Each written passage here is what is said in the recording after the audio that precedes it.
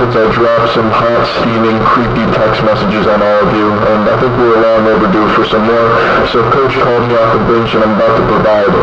But something a little different here. The text messages that I'm going to show aren't like the standard weirdo, unhinged, lunatic type behavior, but I think it's something that a lot of people might be able to learn from.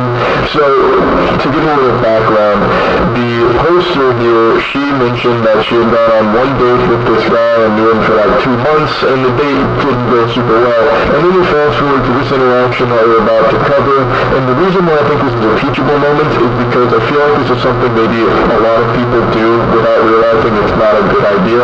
And there's actually hints of old Charles in these text messages here. Deep in the flavor profile of these I see myself staring me in the mirror when I was but a wee lad, a young man.